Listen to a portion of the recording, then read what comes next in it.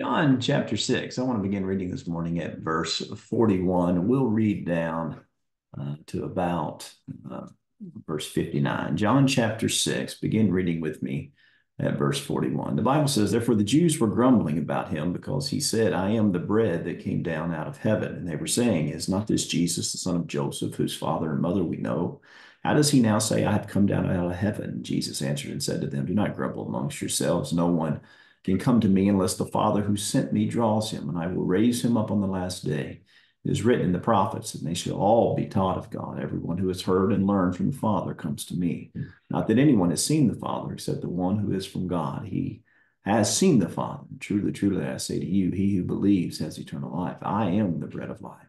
Your fathers ate the manna in the wilderness and they died. This is the bread which comes down out of heaven, so that one may eat of it and not die. I am the living bread that came down out of heaven. If anyone eats of this bread, he will live forever. And the bread also, which I will give for the life of the world, is my flesh. Excuse me. Verse 52 says, Then the Jews began to argue with one another, saying, How can this man give us his flesh to eat? So Jesus said to them, Truly, truly, I say to you, unless you eat the flesh of the Son of Man and drink his blood, you have no life in yourselves. He who eats my flesh and drinks my blood has eternal life, and I will raise him up on the last day. For my flesh is true food, and my blood is true drink. He who eats my flesh and drinks my blood abides in me, and I in him. As the living Father sent me, and I live because of the Father, so he who eats me, he also live because of me. This is the bread which came down out of heaven, not as the fathers ate and died. He who eats this bread will live forever.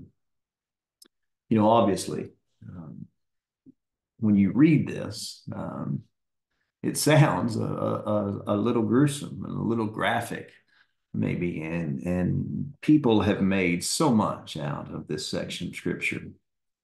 But essentially, what Jesus is saying here, I don't believe this is a reference to the Lord's Supper. But what Jesus is saying here, Him being the bread that has come down out of heaven that gives life. The idea here is very simple.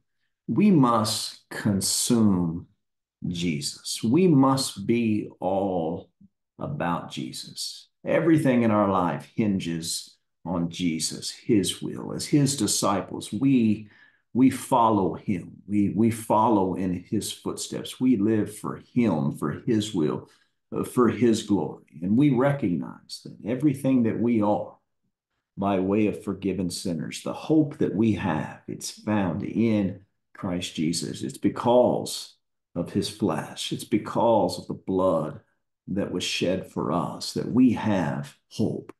Therefore, we are all about Jesus. We consume Jesus. We make Jesus a part of who we are.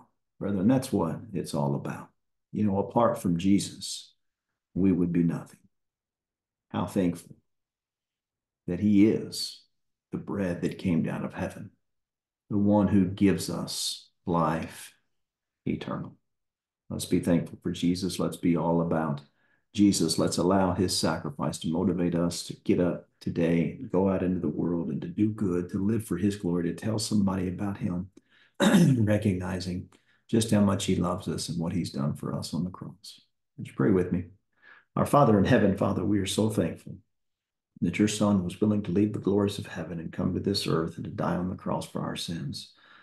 Father, a half hearted response, lukewarm response to that type of love and mercy, an all consuming sacrifice that was given once for all, Father, we.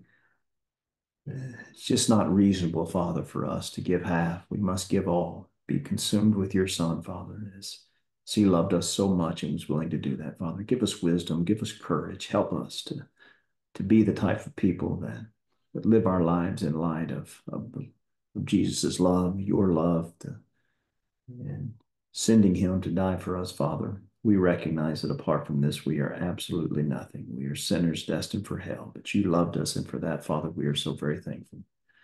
Father, we're mindful of those who are hurting, those who are suffering, those whom we're concerned about. Father, we pray you'd be with our brother Dennis Green, that he would have the ability and the will to come and to, to worship with us, Father, very soon. We ask that you'd be with Carice, that all would continue to, to go well with her, that she would be able to get back out and worship with us. Father, we pray that you'd be with Nell, that she would continue to recover from her recent stay in the hospital. Father, bless all of these. Bless those who care for them. We ask you to be with our sister Patsy. She recuperates, Father. Just be with her, be with Dan and Pam as decisions be made on behalf her, Father. We ask you to be with the Shul family as Jerry and Patty and the family care for her.